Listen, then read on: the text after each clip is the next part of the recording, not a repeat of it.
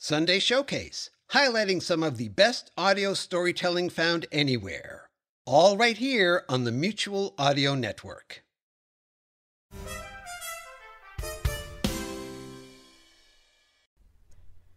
The following audio drama is rated PG 13, suggesting that all children under the age of 13 should listen accompanied with an adult. Leave this in as well, future Tony, when you're editing this. Oh, absolutely. Future Tony, turn around right now. Look behind you. Oh my god, it's Cei. I said future Tony. Well, uh, well, am I always future Oh, Tony? relative. you're present Tony. Uh, No, you are present, Tony. I mean, technically, So everything you're looking at is in the past because the speed of light is technically not instantaneous. So technically, everything you see is in the past. Fun the Yeah, fact: but that's is not- stupid, and we're not worrying about that right now. we're That's getting stupid. You should be we're, quiet. we're getting metaphysical and existential and all that good stuff. Which is extra funny because I'm here as a sock puppet. It always makes it better. Welcome back for the final day of MadCon 2022. I am definitely keeping that little part in at least.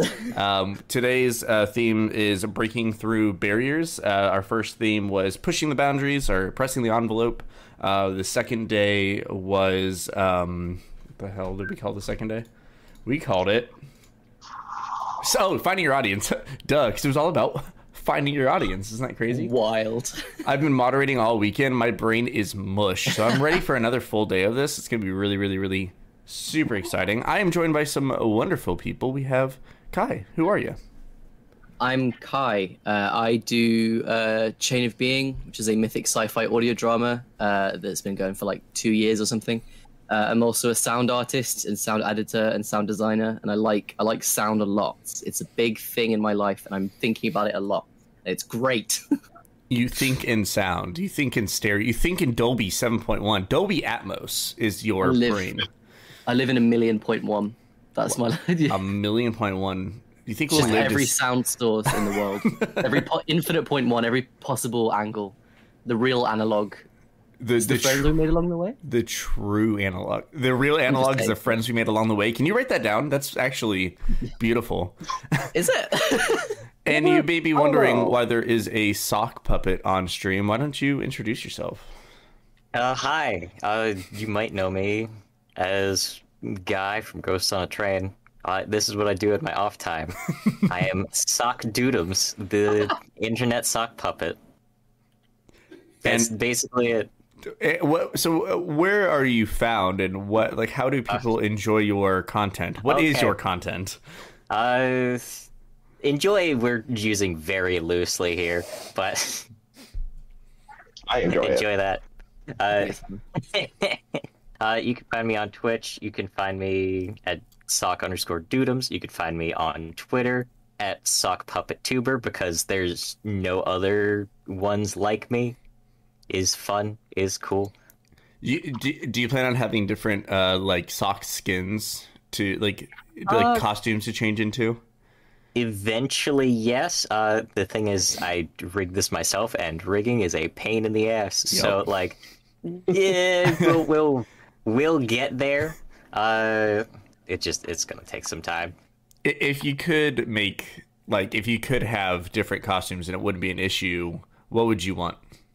Okay, so I've got three other kind of like types of socks, and then I'm gonna I'm just gonna post this here. You can include this or not, but I'm going to describe it. The prompt was goth sock. okay. Uh, so this is done by my friend Noodle, aka Brothel. Oh my god! Oh, yeah, it's, it's, That's so good. Holy fuck! Uh, the problem is because this is just a static image, like Yeah. cutting and rigging it is going to be impossible. So I'm I'm working on it, but that's gonna take some time. I, I can probably make it in vector for you. We can collab on this. This would be a There good collab. Incredible. You should do a sock monkey one too if you had it, because that's just like that's classic sock. You know, it's the sock That is monkey. classic. When I was in Japan, I saw that they sold these like uh, toe socks that went around each individual toe, Uh, and yes. it, I found Oh, I them weirdly that. comfortable. I think you should do a toe sock version. it's just a bunch of like. oh my god. Isn't Here's the thing. isn't that just a because, like, glove? Kinda, yeah. That's true, actually. Yeah. I mean, this is Yeah. a hand puppet. Like, wouldn't that just very be a point. glove? yeah, kinda. I mean, I'm coming at you from the beach. I remember having a friend who had like these runner shoes, uh, but like Oh, God, had the individual toes. I was like, okay, cool. they they make you Weird, feel weird and but uncomfortable. cool. Oh boy, much bigger crowd than yesterday. Greg, would you like to join in on the fun again? We can hear morning Every- voice Greg again. Let's just have let's just have everyone with their mics on because like we know Rebecca as well, so like it's might as well just. You know what? I want to Rebecca. No, I'm, I'm, I'm just, I'm mostly just popping in briefly because I've, I'm, I'm skedaddling for a bit for the, uh, the morning. That's not morning voice, Greg. Um, what the hell? Who are you? It's not. I've, I've, I've woken up. I haven't just woken up. This Oh, is gonna be that's an absolute nightmare. It was end. amazing. Last yesterday morning, Greg popped in. and was like, "Hey guys, what's going on?" I'm like, "Whoa, whoa!" It was wild. I was very surprised. Full octave down. And so we, we have a mystery voice coming from the the the chat. Who who are you, mystery voice?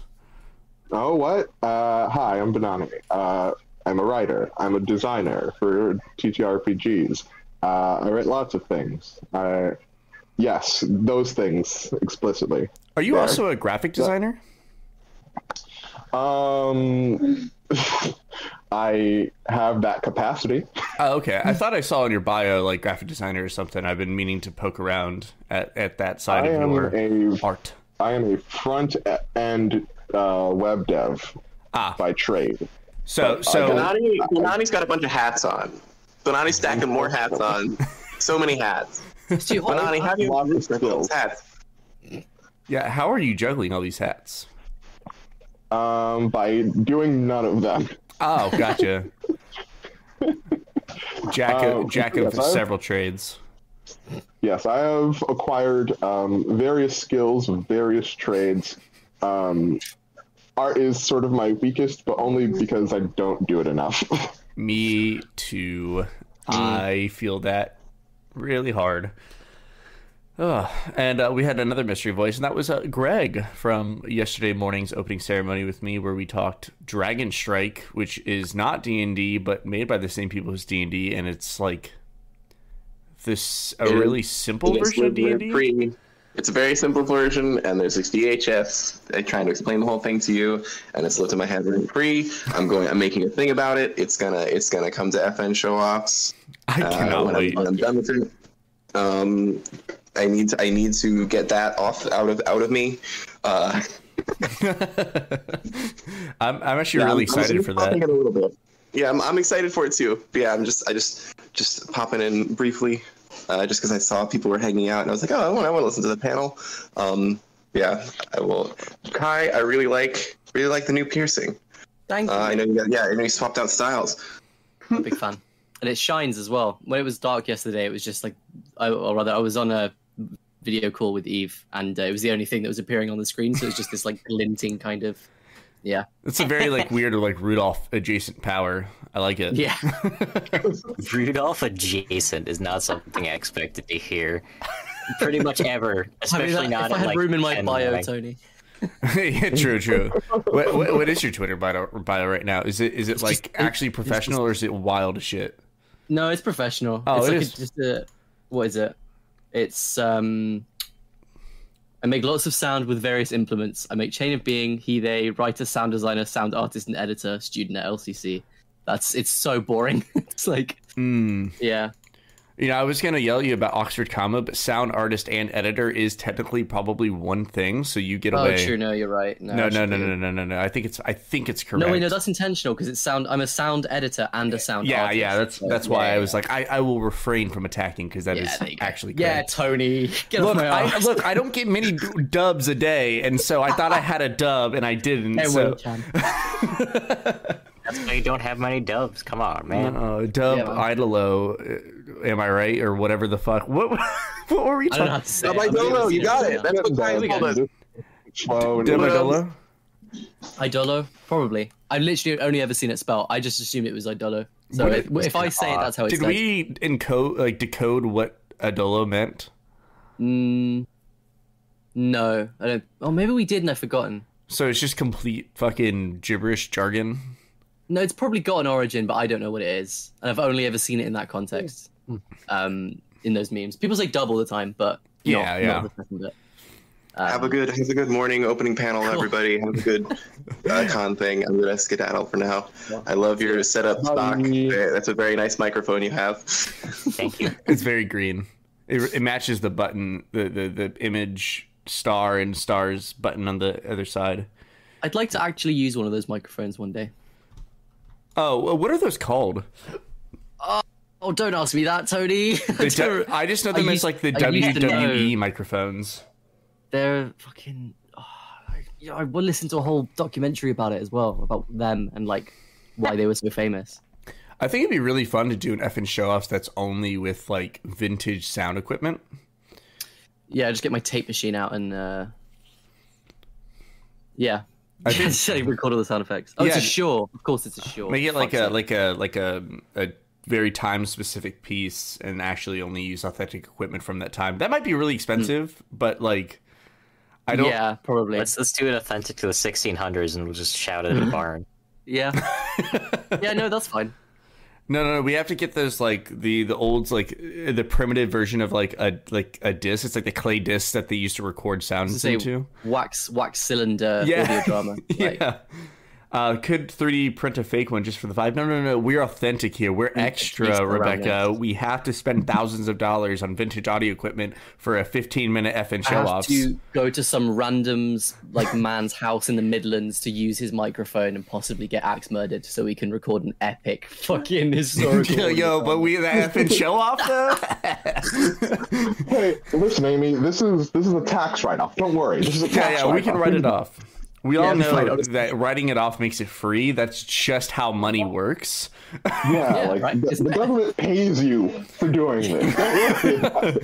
It's like it's Free like charitable donations. You actually make money on them. It's not Yeah, how it works. It's like yeah, I, I save a billion dollar in taxes by donating a million dollars. That's how that that's how that works, right? I really don't know how it works, but I can't imagine you can ever make. That's this is completely irrelevant. We're talking about podcasting today. There might actually be like grants for using like authentic audio equipment, though. So like, eh. Yo, I mean, honestly, I think that would be a fun effing show off. We're talking about breaking the ba- we're pushing the envelope by using stuff from a century ago. I think that's really Yeah. cool. We're also talking about um yeah like accessibility later and what's more accessible than equipment from like 60 years ago. Mm, Yeah, man. before the age of UX. yeah. Uh, we've uh, we've had a really good panel, a set of panels this weekend. I feel like we've answered a lot of questions um, pretty well. Let me let me open up my super bright tab, uh, and Oh my god. it hurts. It hurts. Uh, there's there has got to be a way I can adjust this right now. All right, all right, let's go. This is great. Is this fun? Is this good? So much fun. This is this only is making great audio. This is only seventy-three percent brightness. That is, This is the- amazing. Ghost woman that stands in this room. It's, Uh, so if you pumped it up to like 100%, would it just like immediately blind you? Flashback. Uh, yeah, yeah, act- sunburn. Yeah. Just so pale I get a sunburn from my flashbang going out. Ooh, all right, I've put my monitor down to twenty percent. Oh fuck. There we go.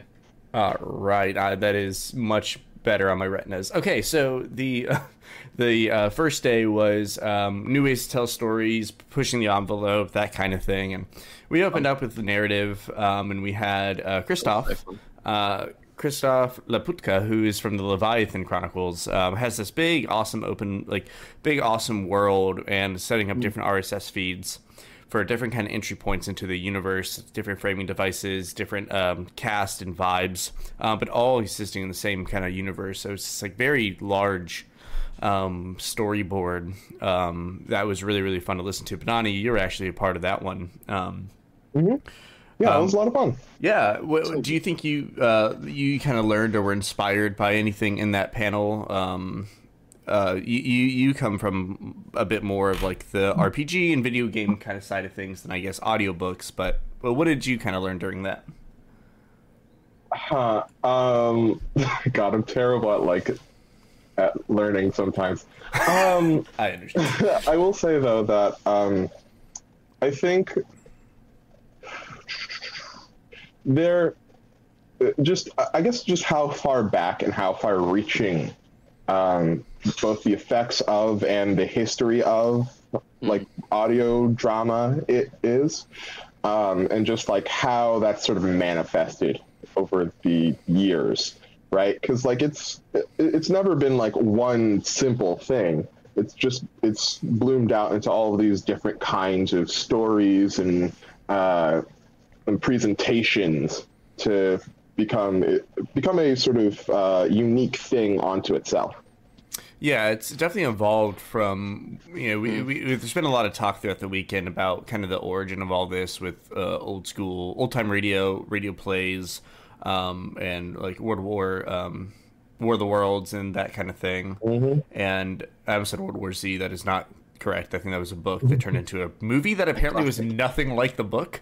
Um, Yep, that's what I'm told. uh, but you know, it's it's just, it's definitely gone through renaissance and metamorph like a, lot, a big metamorphosis uh, morphosis throughout the years. And um, you know, when we think about modern day audio dramas, that's really only maybe like 15 years old. Um, uh, about what we think about audio dramas, and even since then, there's been this massive resurgence um, unto itself during the pandemic, um, Yeah. where you know a lot of people were like, "I'm in a pandemic.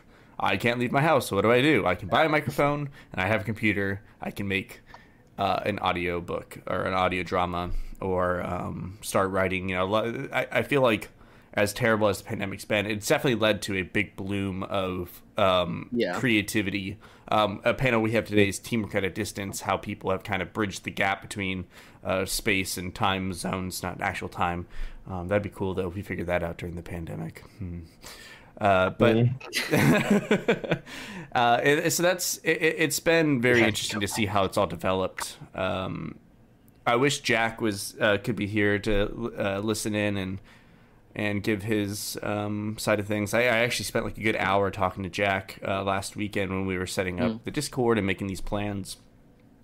And that man has so much knowledge of this industry, go, starting with the radio plays, because he grew up on like a farm in Nova Scotia, in the middle of nowhere, and all they had was radio. They didn't have television, um, and and he literally grew up on these old time radio plays, and is so extremely knowledgeable about uh, it all. Um, so yeah, shout out Jack Ward of Audio Mutual and Sonic Society. Sorry, Mutual Audio Network. Audio Mutual is their Twitter tag, uh, Twitter handle. Um, he's incredible. Um, what have you, so Cei? What have you learned about the narrative of like Chain of Being? Like as you've kind of been because you started what, uh, 15 years old with it. How has that changed for Yeah. you and your approach? I think. Yeah, I think. Well, to, to be fair, it was it was started thinking about and, and creating the world at 15, and then actually started producing it around 17. Um, but I think I think its its original idea way back right at the beginning when I was 15 was more definitely more Night Vale inspired, and I think more like these are the daily events of a single place. And I think since then, it's definitely taken on a more as as loaded as the term is like cinematic kind of like feel to it and the fact that they're going to lots of places because i don't know i took i started to feel that like you know you you don't have to pay for cgi and you don't have to pay for all these like visual effects. So you can just kind of say whatever you want as long as you can describe it and sound design it to a sort of convincing uh, extent. Like you can just have anything you want ever which i think is kind of why i, I sort of i feel like it's, it's quite good for sci-fi because like a lot of sci-fi tv shows i think for me at least suffer from just not like like like budget problems and not looking that great or like the aliens always look a bit bleh. so i Mhm. think that you know and then that's not to say there aren't good sci-fi shows out there that do that but it takes a lot of money to do that whereas i think you can very easily do sci-fi just like massive you know galaxy spanning stories just with the right sound design um which is why i i, I want to kind of do more with season two for chain of being but definitely definitely um yeah i think i think taking it from just like a quite small thing to just this grand sort of universe. Um yeah that's for me anyway. So when you first started, I, I were you more focused on world building? Because because like in its current state, it's very focused on Adam, and you still have a lot of world building, but it's about Adam and and um, Ovi Nadal and and and their kind of Yeah. that that kind of relationship there. Um, was it did Adam like kind of just accidentally become the main character, or was he always intended to kind of be this Yeah. at the front of the scene? he he was always going to be the main character, but I think you can kind of tell as well that right at the beginning he's kind of like the sort of the eyes through which the audience gets to see the world type thing. And then I sort of I had a really good bit of criticism from someone um, from the the laughably dapper people who do really good um, like comedy audio drama stuff, and they said basically like. I think you need to put more personality into him and make him more of a character as opposed to an observer. And so I started to try. I'm still trying to do that because you know um, it's it's just one of my weaknesses. I think is character stuff, which I'm trying to get better at. But um, I think he then became more of a character with like an arc and things to deal with, as opposed to just like, man, I'm here and this this shit's crazy, huh? Instead of him like suddenly changing into, you know, a person that like needs to develop. And you can, I mean, I feel like in the last few episodes, it starts to come through a lot more. Mhm. Um, you know, he has opinions about things and he sort of disagrees with people, and he's kind of very sort of, I don't know, passionate. And uh, yeah, Yeah. but he was he was always a little bit fucked up, but Oh, for sure. right now. Uh, have you always um, done all the writing yourself? Do you send off the script to anyone to review, maybe before you start on the episode, or? Yeah, I, I mean, I've always, I've always, there's one standalone episode that my brother wrote, um, but every episode has been written by me. I think there's maybe one paragraph in one thing that my dad wrote because he, he, he writes um, sort of on the side kind of thing. Um, but yeah, no, I'll send it off to my dad. I'll send it off to friends, whoever will basically like have it, and they'll just like look through, send some notes and stuff. And um, yeah, I think notes, I find, I find notes very helpful. But you know, you, you got that imposter syndrome you have to get over. I think the best way is just to send it to as many people. And if everyone goes, yeah, this is good, then surely they can't all be wrong or they can't all be trying to convince you that you're better than you are. so eventually it's got to be like right. So yeah, I think the more people that you can get to like check it out, I think is, is good. Um, yeah. Awesome. Um, Sock, uh, through the through the media that you like to consume and any um, world building you you've done, what have you learned about narrative design? What do you appreciate in a good narrative? Uh, well, I enjoy the the whiplash that I caused just by being here. Yes, That's that's Absolutely. very So fun. you just go, so sock is just so, it's just, like just a I sock can with a see the moment where like Cei just just like it, ju- it just broke. So like fuck it out. Alright, go on. So good. Ah. for for narrative design and kind of narrative building and growth in my kind of so my, my VTuber journey has been very short. Uh, I started in the beginning of May. Uh, it is now the middle of July, so only like two and a half months. hmm Uh, one thing that I have noticed is a lot of people want to get like really kind of high concept with what it is that they want to be doing. Mm. The problem with doing that kind of as a VTuber, where like your biggest kind of market and the thing that you're marketing, this isn't really answering your question, but I'm going to go into it Oh, anyway. it's all good. but your biggest kind of point of marketing and your biggest kind of thing that you've got to advertise is yourself your design like what your aesthetic is everything about that. So everyone there's a lot of people that i've noticed that try and do something really really high concept and try and get real complicated with it and it just doesn't work because like you can't really tell what it is that they're going for at a glance Mm. like there's so many where it's just kind of when you look at them they're just like anime girl anime boy Mm. furry Mm, demon Yeah, that's that's kind of it it, it's a bit hard. It, it, it's kind of like that surface level is like your first instinct, and and and not everyone's gonna want to be like, let's go into the bio and see exactly what this is. Like you've kind of get that one. Oh, bye bye hat. Uh, you saw it go into a trash bin. That was hilarious. uh, you do kind of have that one like first impression, and then like I'm sure as a creator as well, always constantly having to explain what your character is and like the significance of their design or their their if there is a backstory. I can imagine that gets pretty Yeah. exhausting, and there must be something really just like liberating about being like I'm a sock puppet. Yeah. yeah yeah I have googly eyes. like the there's there's something very liberating about it but also like you know exactly what my situation is you know exactly what my deal is uh th- this is kind of taking something, but I think one of the most important things that you can kind of do with any sort of media is make it readable. Like when someone just kind of looks at it and like get what it is right away. Like if someone like sees Chain of Being, sees the kind of like logo that you've got, Mm. uh, like they kind of get it. They they Yeah. they get like, all right, sci-fi, religious. uh, kind of. There's like a kind of biblical bent bent to it. Heavy into the audio design, but uh, very, very, very artsy. Mm. Like you, you can kind of, you can pick that up at a glance. Uh, yeah. Or something like uh, "Welcome to Night Vale." You can tell pretty easily like what the situation is. Like Yeah. this is, this is kind of like horror themed, but it's not taking itself super seriously. Mhm. But it's still a lot of intrigue and kind of mystery, confusion. Uh, those are the only ones I can. I'm gonna go with for right now because I could literally go on forever. Two But only audio dramas. Yeah, yeah, those are the All two audio dramas. those are the two.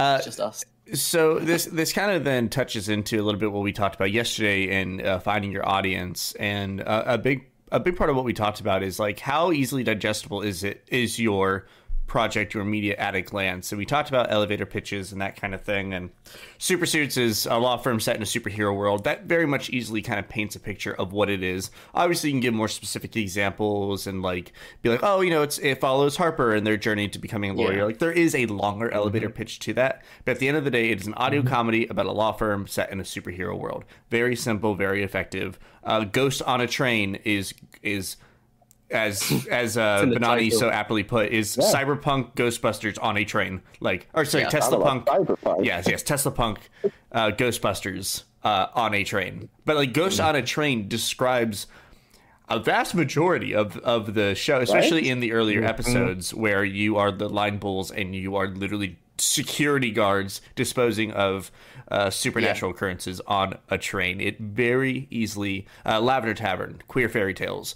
Boom. That's like it. It immediately describes the project, and so I think um, that is a big part about like finding your audience is like how easily can you explain to them your project and something i want to work with you on kai is like how do we aptly describe chain of being to someone because mythic sci-fi can mean a lot it doesn't it Yeah. doesn't fully describe that you have these judeo-christian um, um, and other um, religious influences from other polytheistic religions and and you have like angels but it's also spaceships and like you you have Yeah. all these themes how do we summarize that and i think that's going to be something that uh, you and i can work on to kind of sell chain of being um, Yeah. to because and we also you have a heavy focus on it's an audiophile experience it is a high Yeah. Quality It's, it's the thing. I'm, I feel like I'm doing maybe.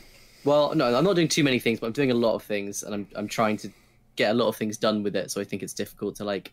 I think the most important stuff maybe we we would refer to, and the things that draw people in, and then I think the audio, and then the the mix of sci-fi and uh, mythology.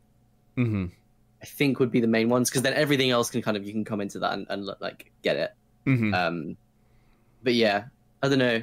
Like, you know, I didn't start going, start it going like, oh, this is going to be like the, you know, like really high sort of fidelity type sound design. I think I just started doing that and realized, oh, actually, I can't, I wouldn't, I don't want to release anything that I don't haven't put like loads of effort into sound wise. And your relationship Um, with sound has only gotten stronger because you started this project when you were like freaking 15 and then started actually making Yeah. episodes at 17. Like you were still in, Yeah. in, in grade school. Like you were still Yeah, like, you are 20 years old now, right? Yeah. You're 20 now, right? I'm 20. Yeah, yeah. Yeah, next year you can come to the States and we can drink. Uh, Yeah, that's the thing. I was gonna go, we're gonna go to New York. I was like, well, I won't be able to drink, so it's gonna be a weird, be a weird one. But, um, but yeah, no, it's. I think I think it's sound has become more a part of it because of the show as well. Like, I mean, I've gone to uni and that was a massive, you know, for sound, and that was a huge like addition of like. I'm surrounded by people talking about and involved in sound all the time, and I'm surrounded by this equipment, and all I'm thinking about is sound. It was kind of inevitable that I would then go into my main sort of life's work with that Mhm. in it. So I think I think they kind of like have been building each other up a little bit. Like one's dragged one up, then one's pulled up with the other. It's kind Right. of I'm not sure what came first, the podcast or my love of sound. Really, I think I think they're very simultaneous in that.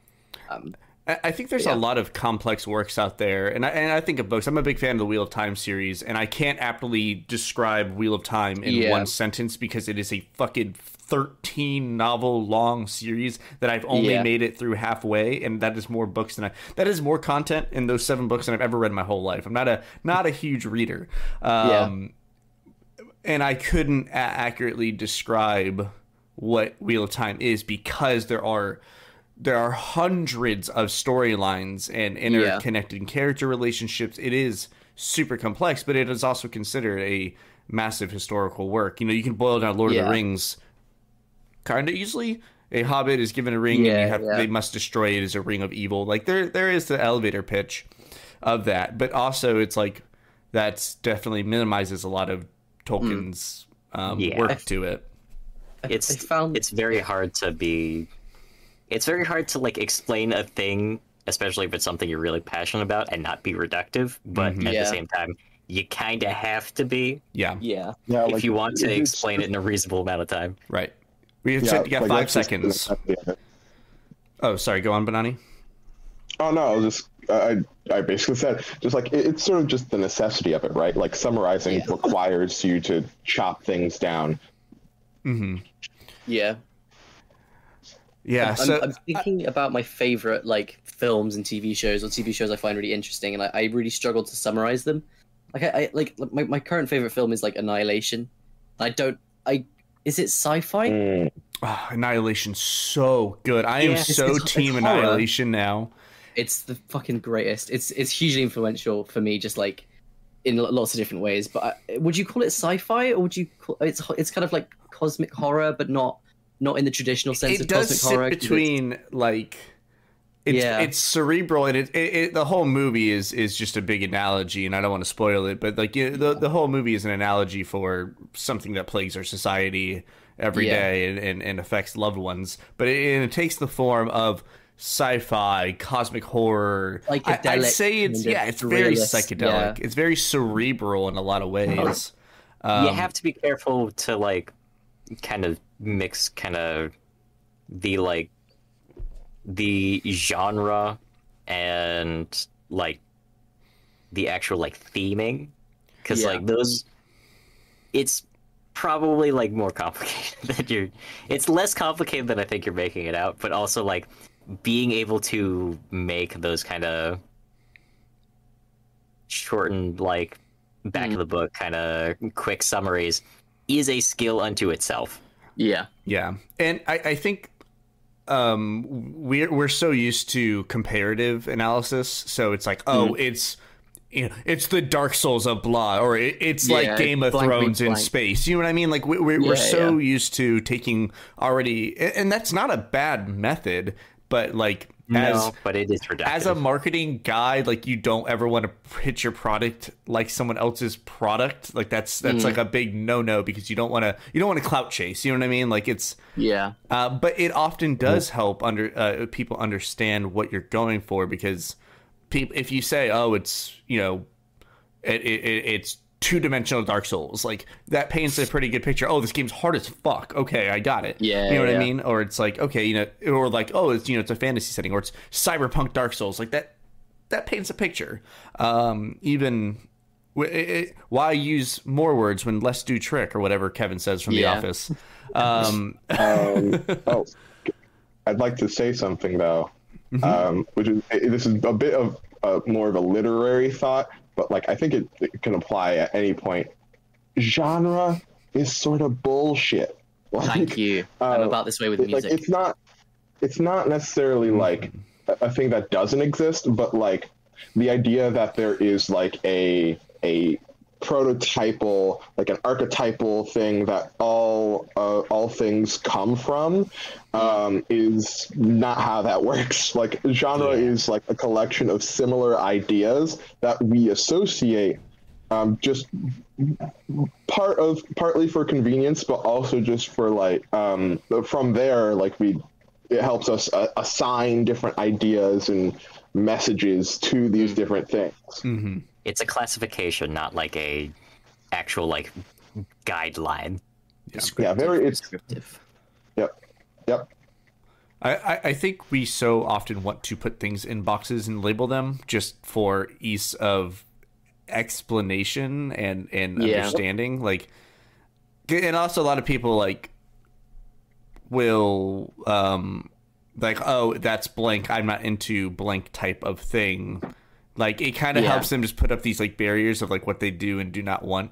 Um, like oh I don't really like, and then I'm guilty of this too. I'm like oh I don't really care too much for sci-fi. That is such a blanket statement that is in hindsight like really just dumb Yeah. because I obviously enjoy a lot of sci-fi stuff.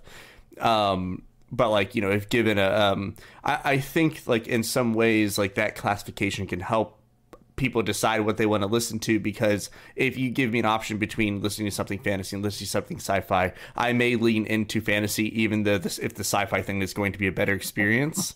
Yeah. Um, just because I immediately associate I love high fantasy. That is that is my type of jam. Um, yeah. Well, that also gets into like genre trappings, and like obviously, like having these kind of descriptors and being able to break them down does make things easier. Like that's there is a point to why we do it. yeah. It's- But you are right, genre banana. You are right. Genres are dumb. They should not limit your creative and listening potential because you should just make whatever the fuck you want and and it should stand on itself because it's your art and like you don't need to compare it to something else. You don't need to. Um, if there are parallels you can make to help people understand what your art is, then that's fine. But you shouldn't be like, I want to make the the Dark Souls of tabletop chess. Like, like, you know, like you know, like you, you shouldn't aim to emulate mm. something intentionally to chase on its coattails. You know. Mm. Mm-hmm. yes. That being said, if I want an elf in something, like you're not going to stop me from having an elf. Okay, that's Oh yeah, that's all I'm saying. Yeah, absolutely. I, the original Chain of Being universe had like all the fantasy races in it as well. Um, like I originally decided that I was gonna have like elves and tieflings and stuff, but I don't know. I don't know why I didn't do that in the end. I think I think it was too science fantasy then for me. I think I wanted it to be a little bit more my own thing. But I do love tieflings a lot. So me too. I might just name Well- them something else. I love my baby, my my Rashak that history Amy made for me. tieflings. Um, they weren't. Oh yeah, uh, yeah. Fun history fact about tieflings: Go on. they weren't originally like horned, like neon-skinned individuals with tails. Like they were just like weird interplanar humanoids that weren't Hmm. necessarily like a player race uh, when they were introduced. So like you could fi- have a, a tiefling could be someone with like feathers or like uh, digitigrade legs or something like that. Um, and I think 4E sort of just sort of, if I remember right, yeah, the story of 4E sort of like forced uh, tieflings to be this very specific, um, fiendish oriented kind of uh, peoples, which is like interesting in its own way, but also sort of uh, sad that it's minimized. Yeah. But, yeah. Guy and I have a game that we used to, or sorry, Sock and I used to have a game we used to play called uh, Tiefling or Draenei. Draenei's are from World of Warcraft, and Oh right. and so we literally, Guy would send me an image and be like, "Is this Draenei fan art? Or is this a Tiefling?" And I almost guessed wrong every time because they are so similar. And then, Maybe I could just do whatever hey, Guy, remember remember Blue Tibalt? Oh my god. there's a Magic the Gathering uh like devilkin type um main character. I say main character, he's just a recurring planeswalker, someone that can uh travel between planes. Um D&D style planes. Um Yeah. and and blue uh, so Tibalt is normally red. He kind of looks like your typical red tiefling. Guy, your uh What is going your on? screen is going crazy. Um, and uh, the guy and I were trying to find examples of like of D and D tieflings. I think it was probably fourth edition that had a bit more of a uh, the Draenei style. And uh, we found we came across Blue Tibalt. Uh, just it just for some reason really really broke. I was like, guy, this is a Magic the Gathering card that they just color shifted blue, and I sent it to him. He's like, holy fuck, you are so. oh man. Yep. Beautiful. Uh, Oh. God. D and D is a is a very fun way of, of, of telling a story. I mean, actual plays just like are, and it- it's Yeah. really interesting to hear how like Guy and Hannah, uh, sorry, um, um, Greg and Hannah talk about like how they like to tell stories through, um, you know, comparing it to like the different types of actual plays we have out there. Your Adventure Zones versus Critical Role, uh, Dimension Twenty, Dungeon Daddies, like they all kind of tell a narrative in a very different way. Some are much more like uncut. Um, very unscripted adventures like uh, Yeah. Critical Role, and then you have a bit more Ghost on a Train style edited, um, highly edited actual plays that feel a bit more um, like Tight. yeah, a bit more tight. Like there's less uh, um, RP breaking or like you know character breaks and stuff like that. It's and there's no right or wrong way to do so, right? It's just Yeah. it is up to the user or the listener experience and the player experience. Like I, my players, like in my play group, would not like to have a more edited style of play because we love just doing dumb shit and laughing at a character and all that kind of stuff. Um, And not to say that you can't have room for that in an edited actual play, but Yeah. we we we prefer to just like have the cameras on and play D and D like we normally would, uh, and just maybe just a little extra in our characters. It's just our play Yeah. style. Yeah, um, and like to add on to that, like a lot of that, um, of just like the different styles can also vary just based on like how you produce stuff, right? Like the limitations of your actual sort of like production. Um, like Critical Role, for example, like they started off in a room with some cameras on. Um, and like Shitty ass audio.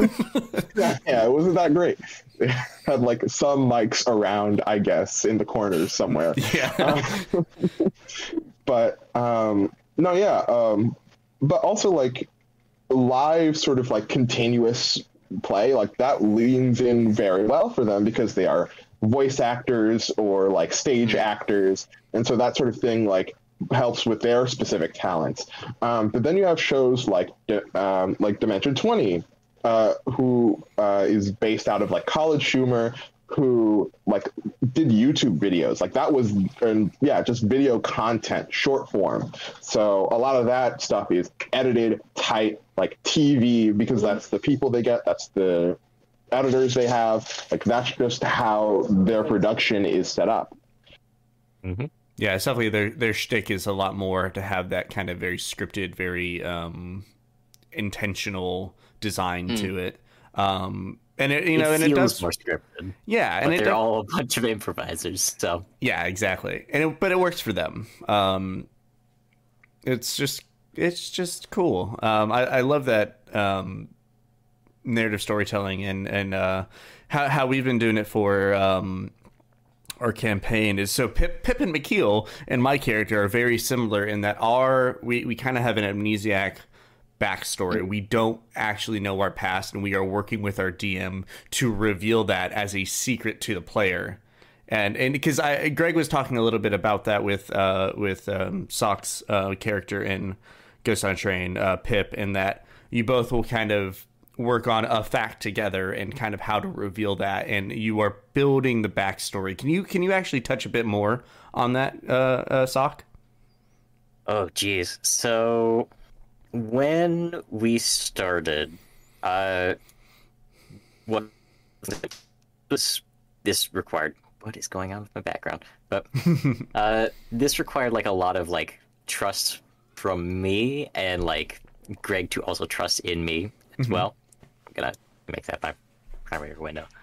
So uh, I wanted to basically like have a character without a backstory, like give them give them kind of nothing to start out with, and then like we will both kind of like periodically like add stuff.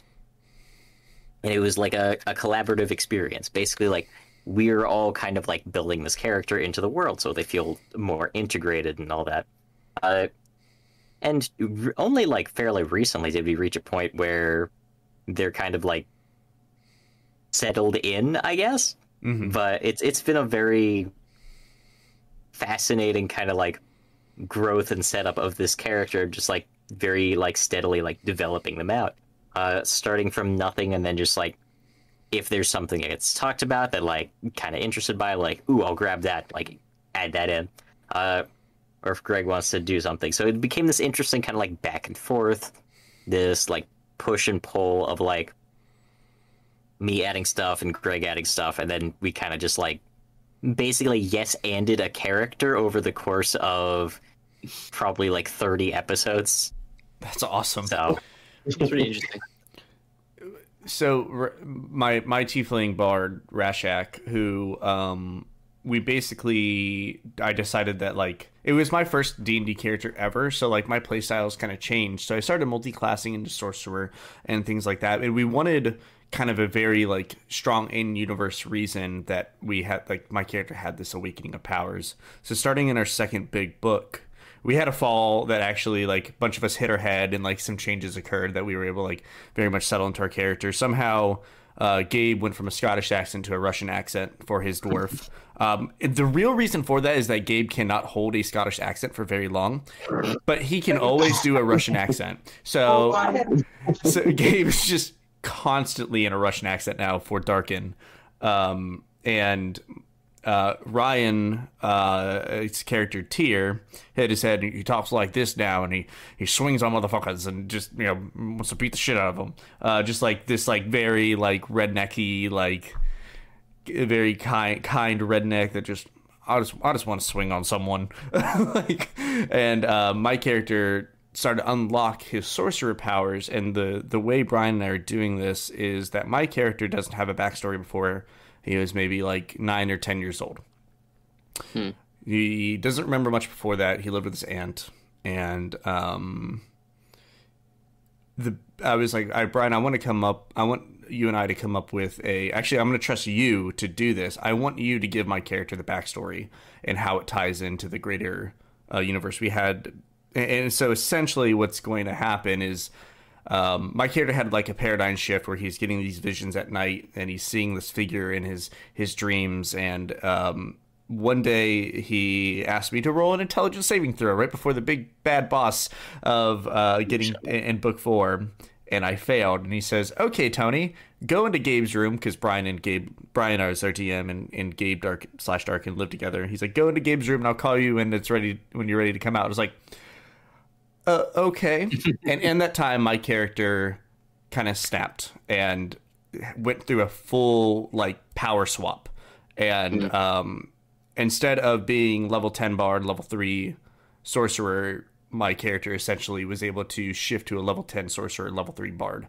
Because the playstyle of a sorcerer was a bit more of like what I was enjoying, and he always had an NPC that kind of played support, and we had a druid that played support, so we were kind of a little a fireball light, if you know what I mean. Uh, and, and and so we had this. Uh, my character snapped. Actually killed our favorite goblin NPC that we befriended.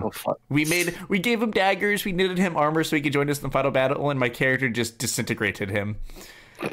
and I didn't know what happened until I came back, and the play other player characters had my character pinned down, and my character has now lost um, the trust of his friends um, and has these powers he doesn't understand. And I still don't really know why my character narratively has had this switch.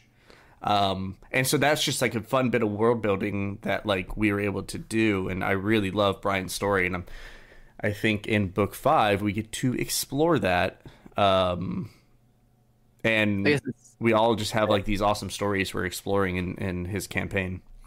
Guess what's fun with like TTRPG stuff is like the fact that you can mess with like agency in that way, and the fact that the player is choosing to do things. So when you take that away, it completely messes with it in very interesting ways. I've done something similar in one of my games I'm running, but basically almost the same thing, kind of, where just occasionally uh, roll a wisdom save, and then if you fuck it up, then you get possessed by this person. It's just like I don't know. I think it's a fun kind of thing to mess with, like like that, um, especially when that's kind of Uh, I will say that. Um, actually, I, want to talk about my funniest experience uh, as a dungeon master recently. Um, actually, probably ever so far. Um, in that um, it, it led to great narrative, um, and I think it would be great um, if it were on a podcast um, where like. Um, the, this was this is my home game with Hannah and Greg and some of our other friends, and uh, we uh, had uh, they were trying to help one of the other players' his parents uh, come back, like come back out of like a rage, but unexpectedly they ended up having to fight this sort of uh, this angel. Um, that was just like very antagonistic towards them. Um, so, um, at the end of the fight, um, I gave it this ability um, called Agent of Rebirth. Now, it's not what you think it is, it's worse. Where uh, the thing explodes when it dies, but if it takes you out with it, you turn into an egg. Oh, Oh. shit. Fuck yeah. okay. And then you're, yeah, in like a, a, a week or less, you, you come out the egg half your age. Shit. That's so cool. Oh, And so Hannah, Hannah's character, the wizard Kiri, um, I, I, I, I didn't realize it, but mostly just because it, it, she was hitting me with fireballs and I didn't like it. no, cones of cold. Uh, I was like, you know what? We're hitting that wizard. We're hitting that wizard. And then at the end of the fight, uh, Kiri dropped to zero. And I was like, oh no, I didn't actually expect this to, to take anyone out. Oh no. And now, um, after a few days, uh, she pops out of the egg as an 11 year old. And so, after this current adventure, that's, that's something we're going to have to resolve. Shit. I was gonna say Hannah. Uh, uh, Hannah plays a younger. Uh, um, how old is Angel? Like 13, 14, like Yeah, teenager. like 13, if I remember right. 13. Uh, how much? I think how much time has technically passed in the Goat universe? uh, not a lot of time at all. Oh, okay. So maybe just Oh, a like few months or something. handful of months, right? Yeah. I think we're like maybe six months tops. Okay, so Angel is still still young, even though I'm not completely caught up to the end. Um, so like, Yeah. I, I I expected Han, uh, Hannah to play like a like a 14 year old wizard and then come out a seven year old. That would have been. No, no. But I mean, 22 to 11 is a big difference too. You're grown ass adult to Yeah. to, to How child. you how did you do like abilities and stuff? Did you just like half the level and then No, we just kept it the same since, Okay. like, at least, especially since, like, she's a wizard. So, like, all that really matters is, like, her brain. Yeah. Um, Where do you work out? The otherwise- library. I mean, basically. um, but yeah, like it was, uh, it, it was the most D and D experience that I have ever had. Yeah. For sure. and uh, it's one of those things that I think, uh, even if I didn't expect it to happen, is a very sort of like narrative defining moment because, like, oh, like. If you are literally half your age, like that can mean a lot depending on like how old you are, um, what and depending on what kind of ancestry you are in D and D. Like in a, to an elf, maybe that doesn't matter too much. Yeah. Uh, to a human, though, like if you're like maybe in your seventies, you're thirty five again. Yeah. You're like, yeah, that's you're back to youth. Um, or then you get something like Kiri, who turns into a prepubescent child. Um, Yeah, that is interesting. If you had like an old character, like, no, no, take me next, take me next. like, like, yes, please take me back to my, the, my the golden age of my character. uh, Now, so would uh, I don't I don't remember if you touched on this. Like, would there are they still mentally eleven at that time? Um, I have sort of left that to Hannah Okay. um, to decide. Really, um, this was like I said, this is a very D and D type of situation. Uh-huh. Not really something that is that I mean to like pull out super much, in, like narratively or like as an experience. Um, at this point, um, I mean, there have been sort of like um, specific things like how um, uh, her character like really likes alcohol to the um, but like now that she's 11 it she can't really experience it the same anymore. Mm. uh, it just doesn't work. So um, that's been a thing but otherwise uh, anything like major uh, outside of that i generally leave to hannah to to deal with. Yeah, giving players agency is really really interesting. It- uh, running a game is hard. I just had my first experience with the D and D starter kit because I wanted to get my my nephew who's been into Stranger Things really wanted to play, and and my brother and I have been playing World of Warcraft since 2005. Uh, he's no he's much older than he uh, than I. He's 39 now. Um, uh, and I was like, well, JJ, you should play with us because you you will just get it, like because you play World of Warcraft, you understand what it's like to start at level one and have just Sinister Strike on your rogue, um, and that's it, and then you know gain levels and play style changes, and and so he's like super into it and things like that, and I, I the first ever session we ran um, I did not engross my. I didn't get to like study the book as much as I wanted to with the NPCs and like kind of the world that that the, the book was building. It's Lost Mine of Phandalin. It's a classic starting adventure. Um, and I, I was like, man, I am woefully unprepared, and it was I had a hard time getting my nephew to feel like really involved because he's with Ryan, who's 26 he's with brian or 27 and then brian is um, also around my age. Like we're all older. And then my nephew's 13 um, Right, okay. and i'm like man i should have i should have had more devices in place to interact with them because we're in a cave full of goblins i have no inner npcs to Yeah. to like really like help him push his character along um, and then by the time we got to the second uh, session, when we got to the town, he wanted to hang out with his cousins, and it was just me and my brother, uh, Ryan and Brian. Also, the first session, there was my nephew Orion, my best friend Ryan, and then our DM Brian. So I'm like, you all are going by character names. Do not say each other's names. I'm gonna get so confused. Ryan, Brian, or Ryan? Are you fucking kidding me? Regret. And uh, so the second session, I was like, I read, you know, very far ahead. I'm like, okay, well, if they decide to skip town entirely, we're gonna go to the castle, and then you know, I maybe will be more prepared. And it is um, when you are prepared, it's easier to let your players have that agency, react the way and like an NPC would react. You know, these aren't characters I created; they're characters I had to kind of study um, and know about what they know and things like that. And um, I felt like the second play, you know, our second session was much more fun for everyone, even though there was like no encounters. It was all RP and shopping, and uh, and we made it really fun. So. F- Shout out to all the really good DMs out there. This shit is hard. Yeah, it is. Yeah, it's really rewarding It's though. easier. Yeah. So I'd like to I'd like to keep working on that because I'm not I don't feel like I'm comfortable enough as um, a creator and a writer to like make my own like world or anything yet, and I think that's like I'm okay with that. Um, I want to keep buying the, the the modules and like take them maybe take these characters to level five through ten in like another book, um, and work on my DM skills that way. And I think it also gives me a chance to learn a bit more about the uh, Forgotten Realms lore and how they do storytelling or like that kind of collaborative Yeah. storytelling. Um, so I'm really excited to, and I've learned a lot from listening to our panelists this weekend um, about narrative building and how to, you know, eh, the improv um, section was was really really really fun. Um, I don't know if anyone got to check that out, but it was a good time. I was there. I was there for all of them. So. Oh yeah, yeah. You were able to listen in. Yeah, the the improv and actual play one was awesome. I wanted Brian, my DM, to join, but he fell ill on Friday.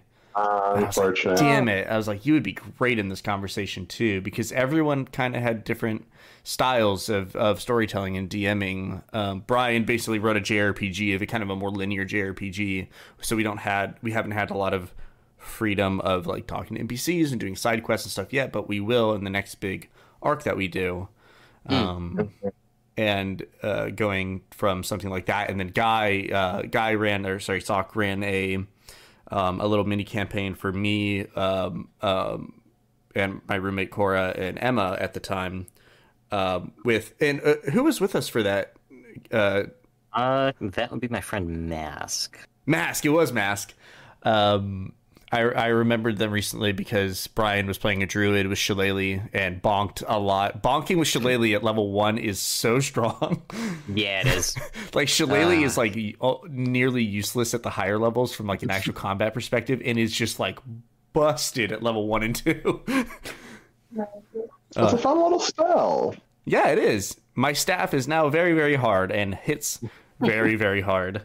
I love it. hmm Um, and you ran a very kind of gritty, very RP based, and kind of very choice based, and that was you know kind of the opposite experience um, from Brian's, and I learned a lot from playing with you. It was that was a very hard campaign. I could tell you guys weren't like super vibing with it. And it's like, all right, I let's was do having, I was definitely having a great time, but I think maybe for Emma's first time, it was a little nitty gritty. Uh, it was it was a little little hard for Emma. Yeah. But I I think we came up with something a little bit better when I did come down and visit and we did the uh oh the little yeah. dungeon things. So we did no narrative uh, D and D, um, kind of inspired by one of my favorite game, Dungeon Keeper, uh, Dungeon Keeper Two specifically, where you basically built. Guy had us um, build like a, a a passageway with like traps and mini mobs and bosses based on a, a certain amount of GP, and so you could buy traps for a certain amount of gold and things like that. And you'd have to set up this gauntlet of uh, of shit for players to go through, and then they would make a party, pick their characters, Yeah. and then um, you had pre-made character sheets, right? I had pre-made character sheets and basically like everyone else that hadn't built the uh the gauntlet would be like playing the pre-mades and trying to like survive through it. It And took I think so one much longer. person actually succeeded. Yeah, I I don't think we even got to. I uh, think we got through what one one map maybe, because it took way longer than we expected. Yeah. Yeah, that Yeah, was that's fun. such Still fun though. such an AD&D idea. Oh Just yeah, making a death That's, that's trap some of a old dungeon. school. Yeah. Mine were basically like rooms. Like I had like no traps. I basically just had like arenas. So you enter here, there is a centaur. You enter here, there is you know a, a wolf pack and a big ringling leader. And then like I just threw the biggest bad that I had money left at the end. Like challenge rating like really really really high.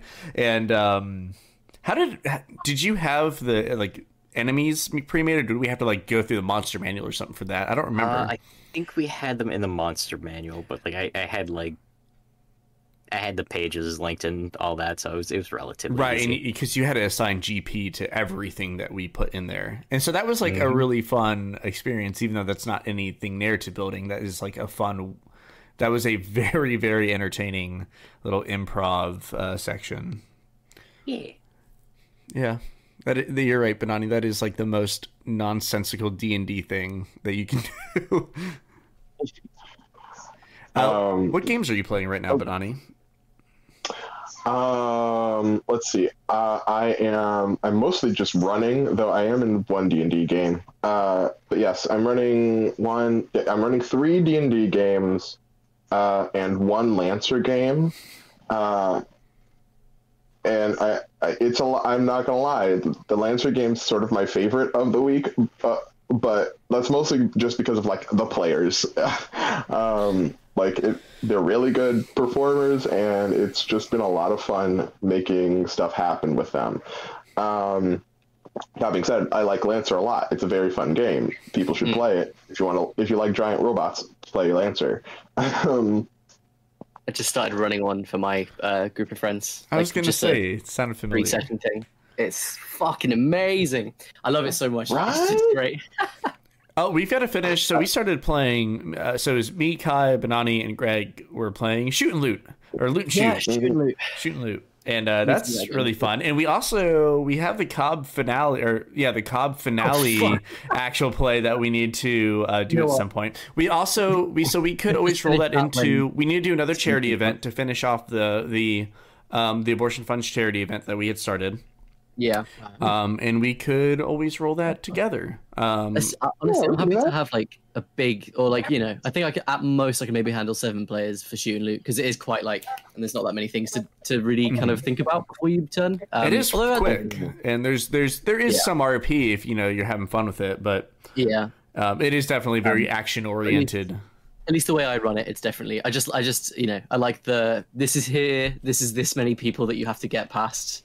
Hmm You know, I like, I like. I mean, you know, I do like doing uh, RP stuff. Uh, my my players aren't super like RP. Like they, they do it, but not as much as like not a huge amount. So um, Mhm. I think I'm not. I'm a little bit out of practice with running RP stuff, but you know.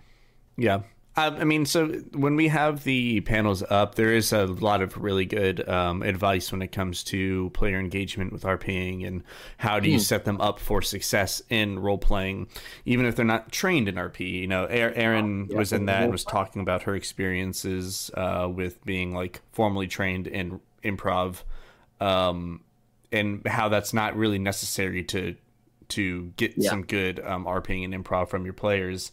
It's really about the environment you set. So um, I'm going to be reviewing that one and learning a lot more for it. I was I was there for it, listening in, obviously, but um, I definitely want to study that panel a little closer. There's Jeff has Yeah, been look- running games forever since like first edition, I think he said. So D and D first edition. Like when it was basically a war game. Yeah, basically. Should we uh, wrap things up?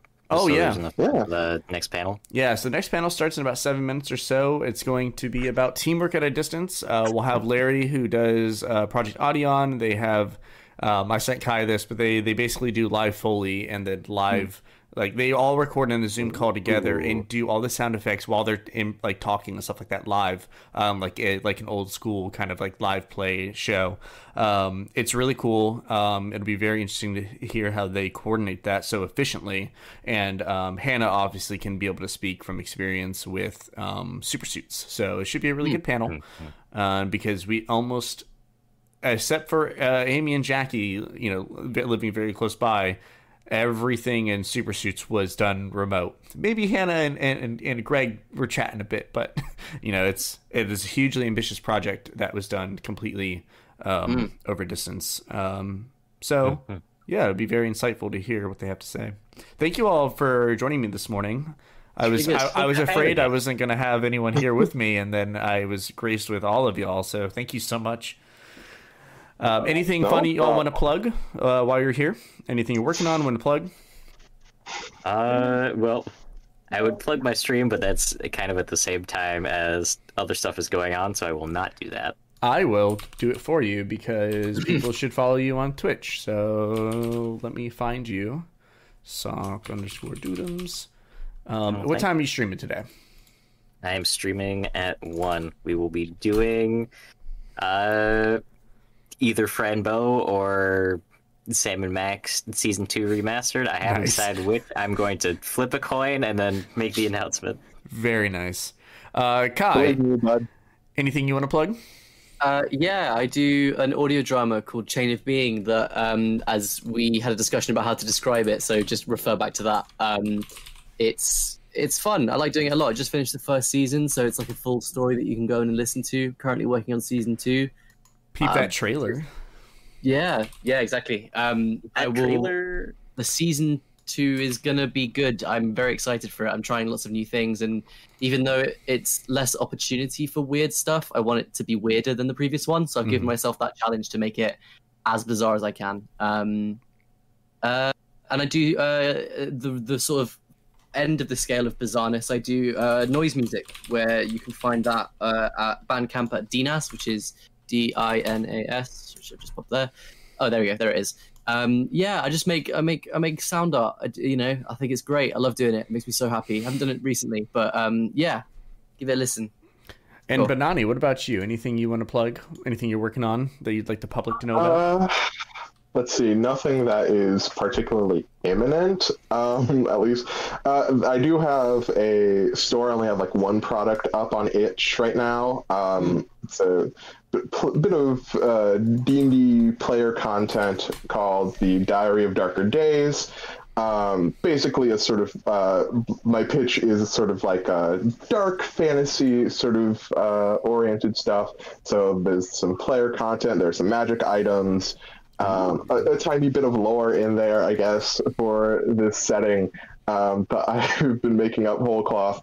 Um, but yeah, otherwise, um, I, I be making stuff. Um, you do be making I- stuff. yeah, at some point you'll probably see a product that I worked on uh, around I don't know when that one's coming out. Um, Uh, yeah, I guess that's it. Really. uh, oh, also, I mean, there's technically, uh, uh, well, not technically, but we might have something working in uh, for for some anime stuff. I don't know. We'll see. We'll see Oh, that sounds exciting. We all like anime here, right? that. Yeah. Let's I, say. I know Guy and I nerd over um, anime pretty often. Like, uh, um, Guy ca- ca- when he came to visit, uh, or Sock, I keeps I keep calling you your real name. I'm so sorry. When Sock came to visit, uh, we were watching. I'm blanking on it. What the hell is the giant mech anime? That's amazing. SSS Gridman. Gridman. I almost said Dy- Dynamax, and that is Pokemon, and not That's- Di Di that's- whatever.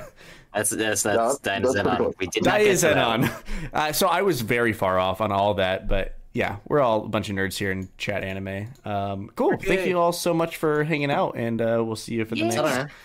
See you for the next panel. Cool. See ya. Bye.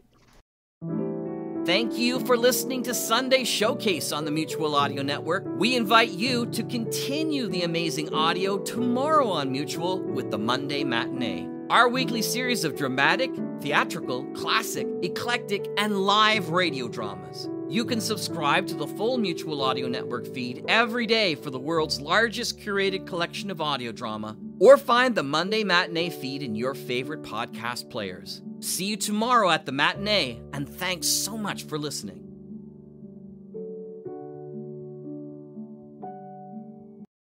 The Mutual Audio Network. Listening and imagining together.